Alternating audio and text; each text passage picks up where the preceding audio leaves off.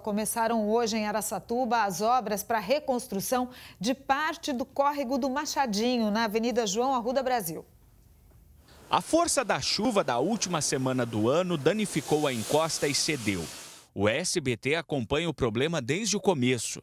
O flagrante foi enviado pela nossa telespectadora, Ana Flávia Bonachini. Depois de quase 15 dias da forte chuva que deu é, na madrugada do dia 21 de dezembro, continuou tudo igual. Ou melhor, tá, na verdade está até pior, porque a terra está cedendo a cada chuva.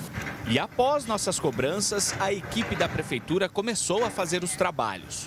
No SBT interior, da hora do almoço, o secretário de obras garantiu que os trabalhos devem ser concluídos até a semana que vem.